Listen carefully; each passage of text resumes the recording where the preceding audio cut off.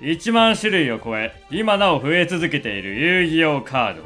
環境で活躍するもの強すぎて禁止になったもの様々なカードが存在する中で使い道がわからないクソカードと呼ばれるカードたちがいる。ここはクソカード診療所クソカードの病状を解明しながらなんとか使い道を考える。そんな場所である。では本日の患者を紹介しよう。どうぞ。サイバーバリアドラゴンくん。三幻魔が初めてカード化されたパック。シャドウ・オブ・インフィニティで登場したカードだ。レベル6の光属性機械属モンスター。その名の通りサイバードラゴンのカテゴリーに属するモンスターだ。アニメ GX ではカイザーこと丸藤亮が使用しヘルカイザーになって以降も使用し続けたカードだ。早速効果を見ていこう。このカードは通常召喚できない。このカードはアタックリフレクターユニットの効果でのみ特殊召喚することができる。このカードが攻撃表示の場合1ターンに1度だけ相手モンスター1体の攻撃を無効にする。なるほど。これは重症だな。アタックリフレクターユニットは自分フィールド上のサイバードラゴン1体を生贄にすることで手札デッキからサイバーバリアドラゴン1体を特殊召喚する。いわばサイバーバリアドラゴン専用のピンポイントな効果を持つカードなのだが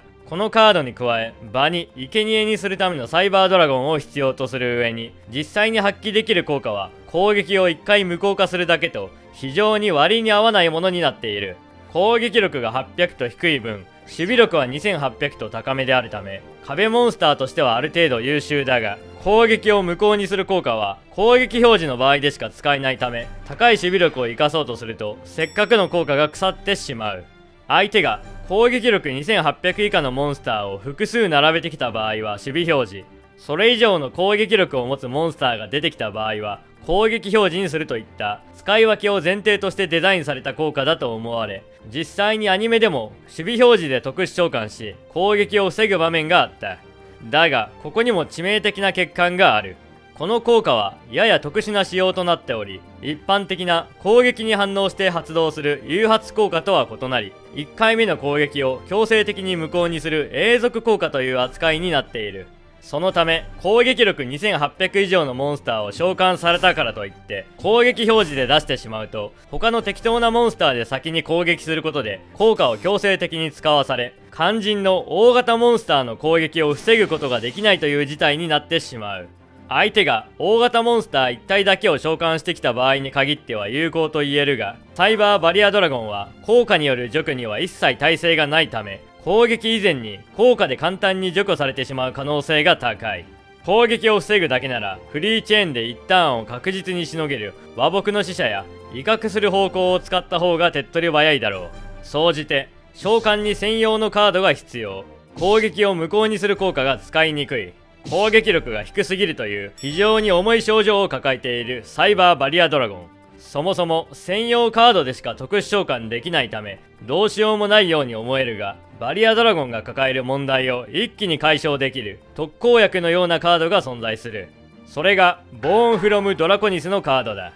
フィールド墓地の機械族光属性モンスターを全て除外することで手札からレベル6以上の機械族光属性モンスター1体を召喚条件を無視して特殊召喚できるカードだ。召喚条件を無視するため当然サイバーバリアドラゴンを特殊召喚することも可能だ。手札からの特殊召喚であるためあらかじめバリアドラゴンを引いておく必要があるがエマージェンシーサイバーやサイバーリペアプラントなどで手軽にサーチできるためさほど気にならない。除外したモンスターの数によってステータスが決定されるためサイバーバリアドラゴンのステータスの低さも同時にカバーすることができる。隣の芝刈りやゴーライテザボルグなどであらかじめ大量に墓地を肥やしておけば見違えるようなステータスのバリアドラゴンを召喚することができる。さらにこのカードの最も優秀な点は召喚したモンスターに自身以外のカードの効果を受けないという非常に強固な耐性を付与できるという点だ。これにより相手はより攻撃力の高いモンスターを出して戦闘破壊するしかないが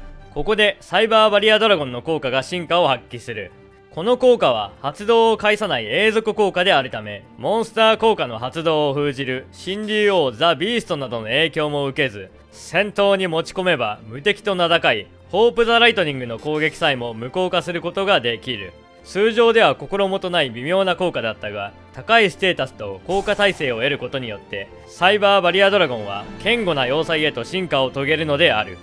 またサイバーロードフュージョンを使えばボーンフロムドラコニスで除外したモンスターをデッキに戻し融合召喚が可能になる。墓地から大量に除外した機械族を素材にキメラテックオーバードラゴンを召喚すれば相手がモンスターを並べて時間を稼ぐ猶予さえ与えずに決着をつけれるだろう。キメラテックオーバードラゴンは融合召喚した際に自分の他のカードを全て墓地へ送るがボーンフロムドラコニスで召喚したモンスターは効果を受けないので盤面をリセットせずに召喚できるのも相性がいい。ボーンフロムドラコニスを発動するターンは他の方法で特殊召喚ができなくなるので相手ターンに発動しサイバーバリアドラゴンで攻撃を防いでから次のターンにサイバーロードフュージョンにつなげるといいだろう。新たな召喚方法で耐性を付与することでより確実に効果を発揮できるようになったサイバーバリアドラゴン。これで症状はある程度改善できたと言いたいがまだまだ問題点は残されている。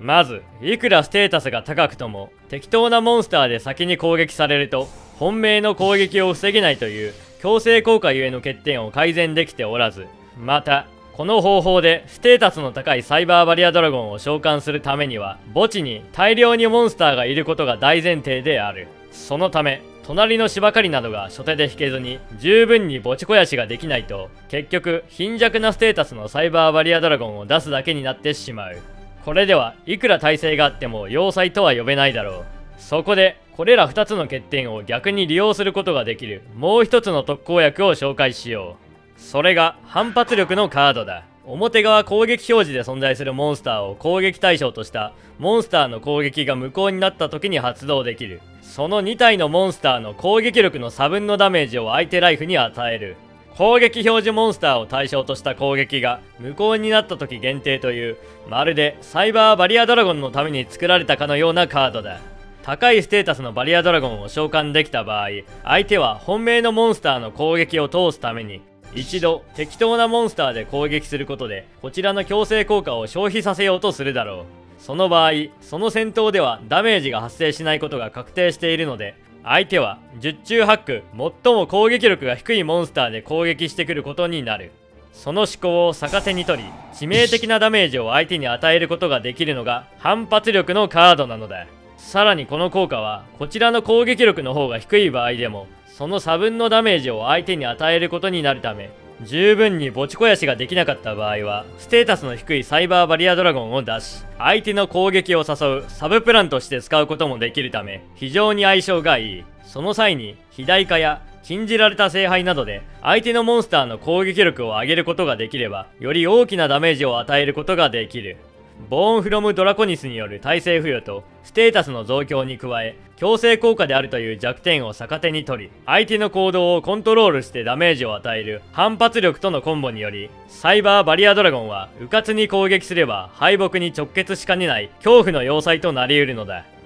他の相性のいいカードも見ていこう。ゴーライテザボルグは隣の芝刈り同様に大量に墓地を肥やせるカードでこのデッキであれば基本的に光属性を生贄に召喚するので自分の墓地肥やしと同時に相手のエクストラデッキのカードを選んで墓地へ送ることで戦術を大きくかき乱すこともできる。またプレデタープランツキメラフレシアを墓地に送ることで次のスタンバイフェーズに融合かフュージョンカードをサーチできるためザボルグで墓地肥やし。次のスタンバイフェーズにキメラフレシアでサイバーロードフュージョンをサーチ。相手ターンにボーンフロムドラコニスで墓地を除外しつつサイバーバリアドラゴンを特殊召喚。相手のターンをしのぎ自分のターンにキメラテックオーバードラゴンの融合召喚につなげられる。鬼神長ベーヌは手札フィールドのモンスターがリリースされた場合墓地のモンスター1枚を手札に加える効果を持つ儀式モンスターだ。ドライトロンにより容易に召喚でき。ドライトロンのリリース効果をトリガーに隣の芝刈りなどでバリアドラゴンが墓地へ送られた場合でも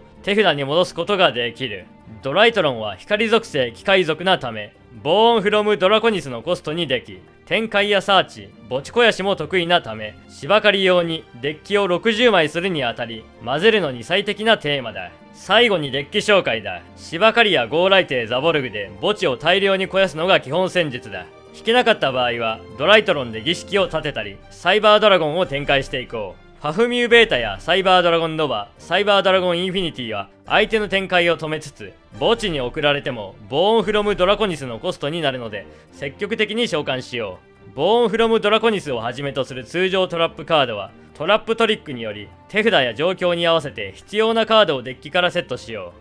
う。クソカード診療所は常に患者を募集している。治療が必要なカードがあればコメントしてくれると、より多くの患者を救えるから助かるぞ。というわけで、本日の診察は以上だ。世の中には治療を待ち望んでいるクソカードたちがたくさん存在している。1万種類を超えるカードの組み合わせとデュエリストのひらめきによって多くのカードを救うため、クソカード診療所は今日も患者に向き合い続けるのだ。